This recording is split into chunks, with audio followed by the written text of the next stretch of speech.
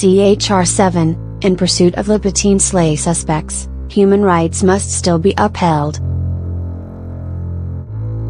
Amid the public outrage on the brutal murder of a Lapu-Lapu teen, the Commission on Human Rights in Central Visayas, CHR7, said that law enforcement agencies must still work within the boundaries of the law in seeking justice.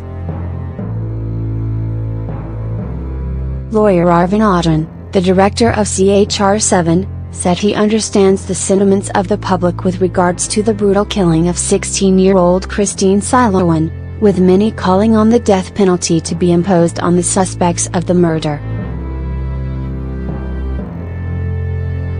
But Odron reminded everyone that human rights must still be upheld in the pursuit of the suspects. Kasabat Mantan Naglagot Ngatawu Naglagot Sad Ta Puradili Man NATO Nasilab Wedai paid penalty K that has been outlawed in 2006, said Odron.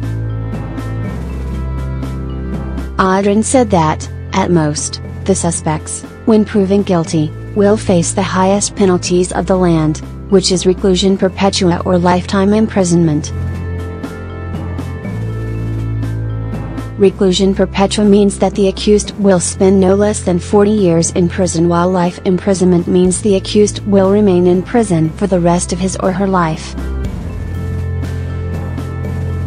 Odron said that they will be supporting the law enforcement agencies such as the police and the National Bureau of Investigation, NBI, in the pursuit of the three suspects of Christine's death.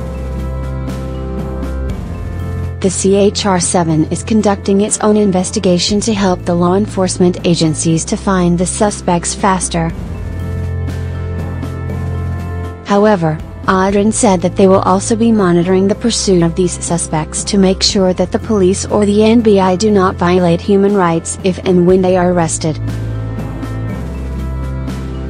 Bantayan sad natong yang ga suspects to kapnila, walapud violate human rights, said Odron.